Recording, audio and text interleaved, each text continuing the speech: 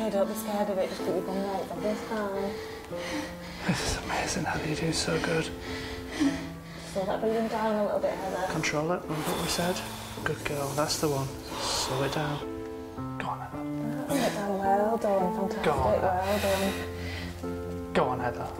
I'm so proud of you. Brilliant. Well done. Go on, Heather. It is scary knowing that I'm going to be this soppy, pathetic dad that's so proud of a little girl.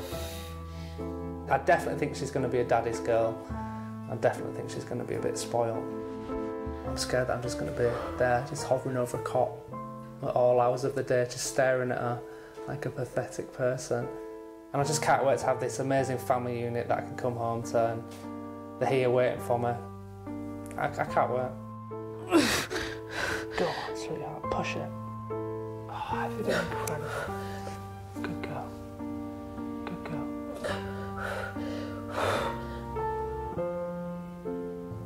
That's it, fantastic. Keep those legs really wide, lots of room for her. Okay, she's coming. Keep breathe, breathe, darling, breathe.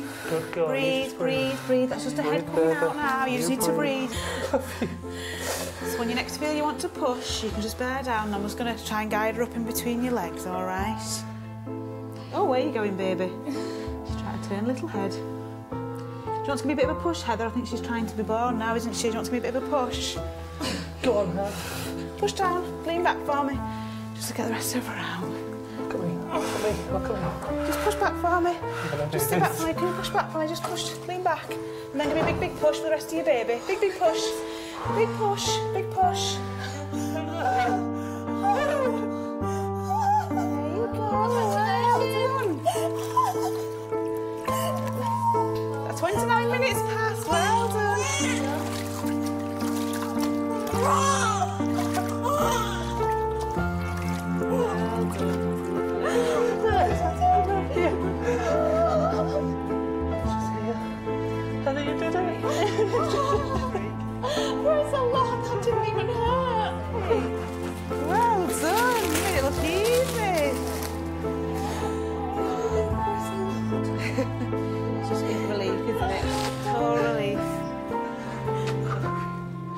It, baby?